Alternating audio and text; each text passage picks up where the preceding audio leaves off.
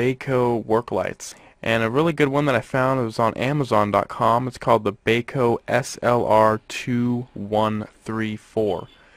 And the hook comes with it. And then you can just easily spin the device around. So you can light paint perfect concentric circles with this thing. Place a that little bonsai tree on a black stool and then I had a black background behind it in a dark room and put it in flashlight mode, lit up the bonsai tree really quickly and switched it to the work light mode and then I just placed it right behind the tree and gave it a little spin, turned it off and the exposure was done taking place and this is how it turned out.